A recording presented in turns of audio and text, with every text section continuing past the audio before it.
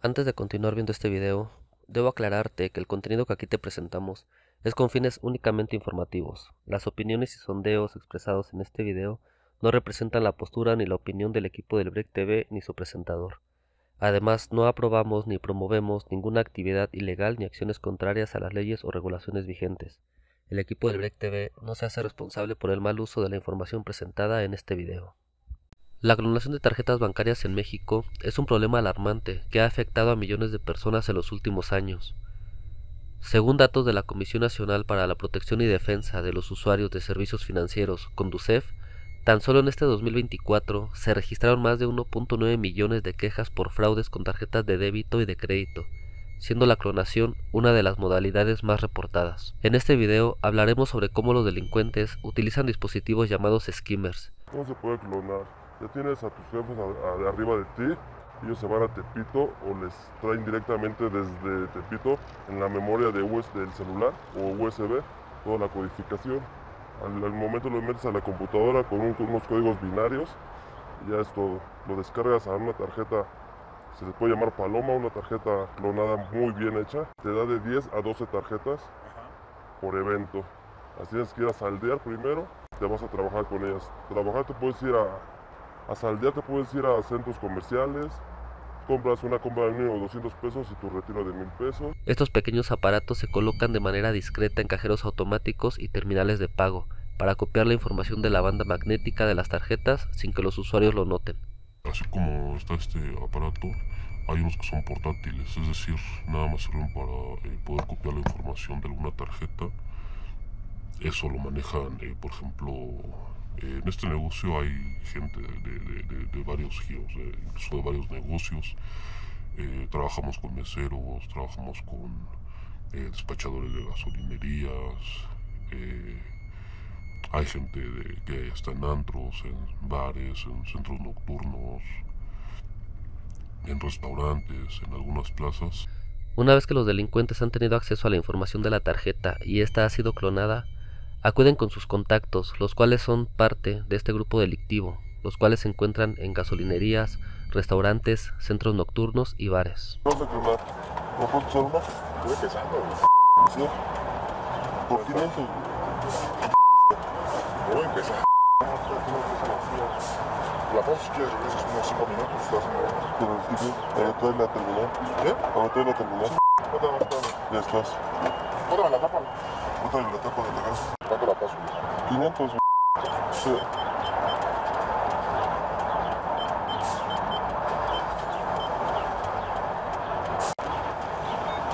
Todas pasan, sabes que todas pasan. Ay, Simón. Todas pasan. Ah, no, la última no pasó, ¿verdad, güey? Eh,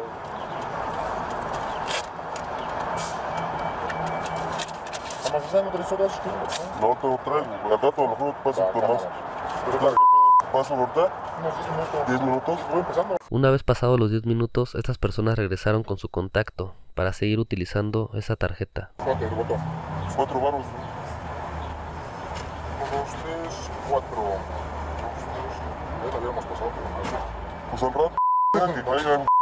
Deja que caigan. Va, cámara. Ya, cámara, güey. Va. Cámara, es- Cada vez son más las personas que a cambio de una comisión aceptan ser parte de este grupo delictivo para que los delincuentes puedan seguir utilizando estas tarjetas. Le damos un 10% y con eso nos echa la varona. Sí, yo te, la, yo te las paso. ¿O está bueno? Nada más, este, no le vayas a decir a los compañeros porque por lo regular nadie me hace. ¿Por cuánto es lo más que nos puede ayudar a pasarlo?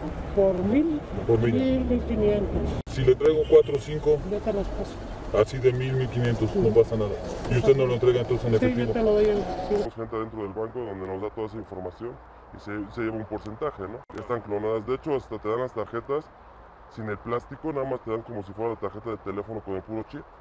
Con ese exactamente. Porque hay veces en las máquinas no pasa la, la banda. Nada más pasa el puro chip, entras, le ingresas la tarjeta y ya con eso. Te dan la tarjeta y los códigos. En las redes sociales cada vez es más común ver este tipo de videos en donde usuarios de diversos servicios financieros confrontan a los ejecutivos del banco, ya que aseguran que les han cometido algún tipo de fraude o robo. Oye, me acaban de quitar 53 mil pesos. Me acaban de... ¿Por qué te vas? Me acaban de quitar 53 mil pesos y me dijeron, dame los 53 mil pesos que sacaste. Estás coludida, cabrona. Te voy a casar, culera. Te voy a esperar a que salgas. Me lo vas a pagar tú. Así como me los quitaron apuntándome la cabeza, así te los voy. Te voy a esperar afuera, ¿eh? De verdad, afuera te voy a esperar. Así como los acaban de quitar a mí. Sí, el chip, exactamente. Y es bien, la tarjeta viene blanca, totalmente blanca. Pero ese ya es un lugar donde tú ya tengas la seguridad de que no te van a sorprender ni te van a llevar a la policía. Por ejemplo, Algún conocido ajá. que esté dentro de una tienda departamental que puede hacer una compra de 30 mil, 40 mil pesos, le hace el 10% a él y ya. Uno de los casos más vistos en internet fue el del video transmitido por el comandante Hernández de los Supercívicos, quien a través de una cámara que portaba en su casco logró captar a dos tipos quienes lo interceptaron al salir de un cajero automático para que volviera a insertar su tarjeta supuestamente para evitar alguna falla. Sin embargo, el comandante Hernández los encaró y los enfrentó. Chéquele Susana, disculpe, porque así le pasó a mi esposa, le quitó dos mil pesos. Ah, o sea, ¿la vuelvo a meter? Me parece como sospechoso. No sirve. Ustedes, no, o sea, sospechosos ustedes. ¿Qué, señor? Porque no veo, no veo lógica en lo que dicen. Ellos dos. Ahí están, eh. Mira, grabado acá. Rateros de celulares. ¿Te gusta el fraude, no, amigo? Y ahorita les voy a explicar cómo funcionan los rateros de cajeros. No son de celulares. Detuvo la puerta y lo que hizo fue tocar esto. Este retiro sin efectivo te manda esto y parece que tu sesión está abierta cuando no. Cuando eres una persona mayor es cuando te la aplican. ¿Qué es lo que hacen? Tú pones tu código de seguridad independientemente de esto. El otro observa ya tienen tu código de seguridad y después por alguna razón cambian tu tarjeta. Si recuerdas mi video anterior en donde hablamos acerca de los billetes G5, fue a través de una de estas personas que el equipo del Break TV logró contactar con un grupo que opera en el centro de la Ciudad de México, colocando estos aparatos llamados skimmers en diversos cajeros de la zona centro y algunas plazas que se encuentran cerca, quienes accedieron a darnos una entrevista con la firme condición de no mostrar sus rostros ni dar la ubicación exacta del lugar en donde operan, que según ellos cambia constantemente. Así que con la incertidumbre de no saber cuál será el desenlace de esta investigación, ya que el riesgo que corremos a veces es muy alto, decidí seguir adelante. Caminamos durante varios minutos alejándonos cada vez más de la zona centro, caminando por calles cada vez más solitarias, en donde era evidente que se trataba de una de las llamadas zonas rojas, pues prácticas como la venta de sustancias ilegales y la prostitución se dan a plena luz del día, irónicamente muy cerca de una de las delegaciones más concurridas por la alta comisión de delitos que se llevan a cabo en toda esta zona, aumentando mala incertidumbre y una sensación creciente de inseguridad en todos los sentidos. Este es el aparato. eh, aquí se conoce como skimmer. Este tipo de lector o de skimmer lo utilizamos eh, ahora sí que cuando tenemos acceso a una tarjeta física. Este, si te das cuenta, va conectado a la computadora por, medio de, USB, pero es esto. Es este. Eh, aquí lo que hace básicamente es, eh, por ejemplo, tenemos esta tarjeta. Nosotros la insertamos si te das cuenta, aquí nos indica que ya está copiando la información, la está leyendo, está eh, copiando los datos. Enciende este, este indicador.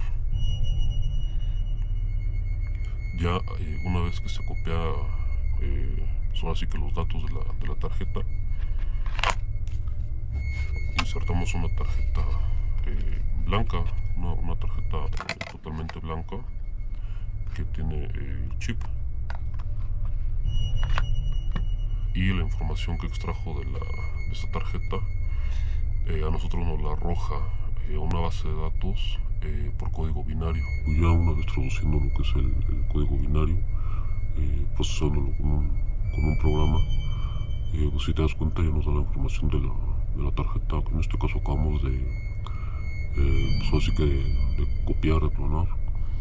Eh, pues ahí está, es de Mastercard, es de Banamex, nos aparece el nombre de la persona, eh, parte de su domicilio, desde México, eh, ya nos aparece toda la, información prácticamente, el código de seguridad, que son los tres dígitos, eh, la fecha de expiración, el PIN con el que está trabajando la tarjeta.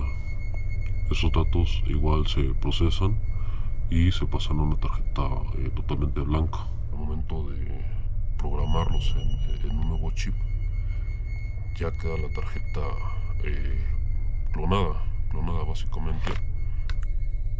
Además, esta persona asegura que el proceso de clonación comienza con otras personas vinculadas a estos grupos delictivos, tales como meseros, cajeras, vendedores, entre otros trabajadores de diversos negocios, siendo los restaurantes, centros nocturnos y hoteles los lugares en donde es más probable que se cometa este tipo de delitos financieros.